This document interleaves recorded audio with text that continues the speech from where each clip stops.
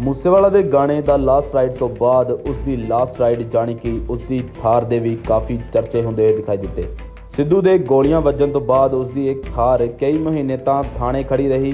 ਪਹਿਲਾਂ ਅਜਿਹੀਆਂ ਖਬਰਾਂ ਵੀ ਨਿਕਲ ਕੇ ਸਾਹਮਣੇ ਆਈਆਂ ਸਨ, ਜਿਸ 'ਚ ਦੱਸਿਆ ਜਾ ਰਿਹਾ ਸੀ ਕਿ ਮੂਸੇਵਾਲਾ ਦੀ ਇਹ ਕਾਲੀ ਥਾਰ ਮੋਹਾਲੀ 'ਚ ਰਹਿੰਦੀ ਇੱਕ ਮਹਿਲਾ ਨੂੰ ਦੇ ਦਿੱਤੀ ਗਈ ਹੈ।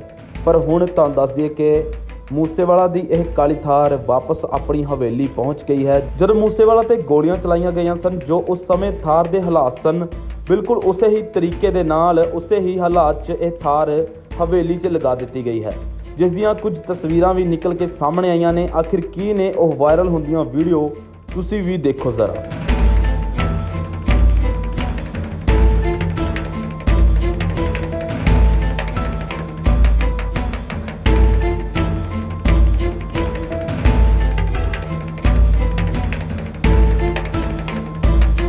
ਉੱਥੇ ਹੀ ਜੇਕਰ ਮੂਸੇਵਾਲਾ ਦੇ ਮਾਪਿਆਂ ਦੀ ਗੱਲ ਕਰੀਏ ਤਾਂ ਲਗਾਤਾਰ ਮੂਸੇਵਾਲਾ ਦੇ ਮਾਪੇ ਉਸ ਦੇ ਇਨਸਾਫ ਦੇ ਮੰਗ ਕਰ ਰਹੇ ਨੇ। ਬਾਕੀ ਤੁਹਾਡਾ ਇਸ ਦੇ ਇਨਸਾਫ ਬਾਰੇ ਕੀ ਕਹਿਣਾ ਹੈ?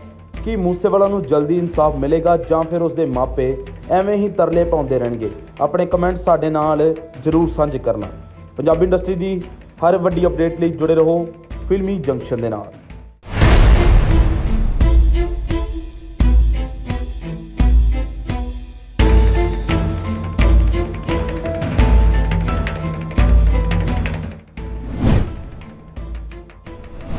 ਮੂਸੇਵਾਲਾ ਦੇ ਗਾਣੇ ਦਾ ਲਾਸਟ ਰਾਈਡ ਤੋਂ ਬਾਅਦ ਉਸ ਦੀ ਲਾਸਟ ਰਾਈਡ ਜਾਣੀ ਕਿ ਉਸ ਦੀ ਥਾਰ ਦੇ ਵੀ ਕਾਫੀ ਚਰਚੇ ਹੁੰਦੇ ਹੋਏ ਦਿਖਾਈ ਦਿੱਤੇ।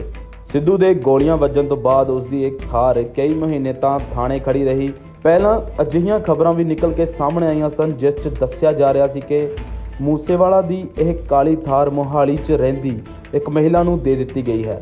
ਪਰ ਹੁਣ ਤੁਹਾਨੂੰ ਦੱਸ ਦਈਏ ਕਿ ਮੂਸੇਵਾਲਾ ਦੀ ਇਹ ਕਾਲੀ ਥਾਰ ਵਾਪਸ ਆਪਣੀ ਹਵੇਲੀ ਪਹੁੰਚ ਗਈ ਹੈ। ਜਦੋਂ ਮੂਸੇਵਾਲਾ ਤੇ ਗੋਲੀਆਂ ਚਲਾਈਆਂ ਗਈਆਂ ਸਨ, ਜੋ ਉਸ ਸਮੇਂ ਥਾਰ ਦੇ ਹਾਲਾਤ ਸਨ, ਬਿਲਕੁਲ ਉਸੇ ਹੀ ਤਰੀਕੇ ਦੇ ਨਾਲ ਉਸੇ ਹੀ ਹਾਲਾਤ 'ਚ ਇਹ ਥਾਰ ਹਵੇਲੀ 'ਚ ਲਗਾ ਦਿੱਤੀ ਗਈ ਹੈ। ਜਿਸ ਦੀਆਂ ਕੁਝ ਤਸਵੀਰਾਂ ਵੀ ਨਿਕਲ ਕੇ ਸਾਹਮਣੇ ਆਈਆਂ ਨੇ। ਆਖਿਰ ਕੀ ਨੇ ਉਹ ਵਾਇਰਲ ਹੁੰਦੀਆਂ ਵੀਡੀਓ ਤੁਸੀਂ ਵੀ ਦੇਖੋ ਜ਼ਰਾ।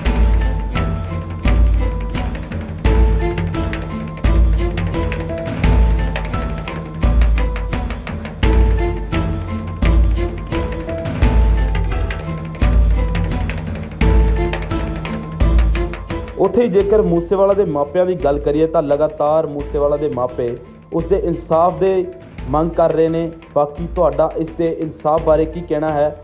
ਕਿ ਮੂਸੇਵਾਲਾ ਨੂੰ ਜਲਦੀ ਇਨਸਾਫ ਮਿਲੇਗਾ ਜਾਂ ਫਿਰ ਉਸ ਦੇ ਮਾਪੇ ਐਵੇਂ ਹੀ ਤਰਲੇ ਪਾਉਂਦੇ ਰਹਿਣਗੇ? ਆਪਣੇ ਕਮੈਂਟ ਸਾਡੇ ਨਾਲ ਜਰੂਰ ਸਾਂਝੇ ਕਰਨਾ। ਪੰਜਾਬੀ ਇੰਡਸਟਰੀ ਦੀ ਹਰ ਵੱਡੀ ਅਪਡੇਟ ਲਈ ਜੁੜੇ ਰਹੋ ਫਿਲਮੀ ਜੰਕਸ਼ਨ ਦੇ ਨਾਲ।